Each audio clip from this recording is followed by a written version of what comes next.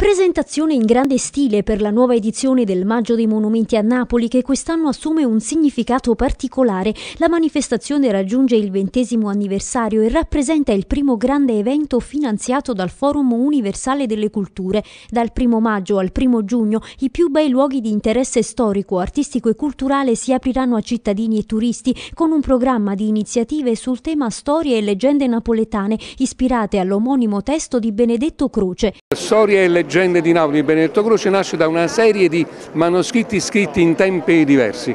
Molti di questi li abbiamo noi e li esponiamo per farli vedere.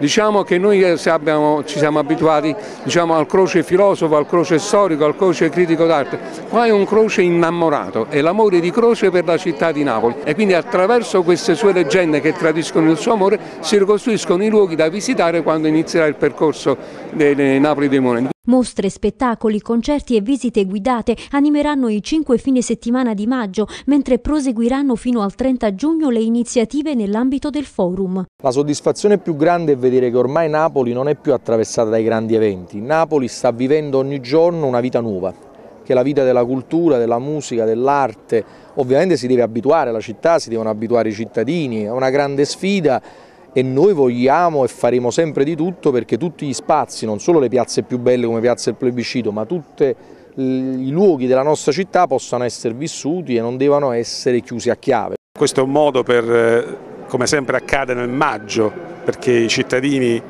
si riappropriano dei grandi valori culturali, storici, architettonici di Napoli, del suo centro storico patrimonio dell'umanità. Io lo chiamo il maggio del forum perché eh, ciò che Benedetto Croce rappresenta eh, è in qualche modo direi uno dei punti più universali della cultura di Napoli.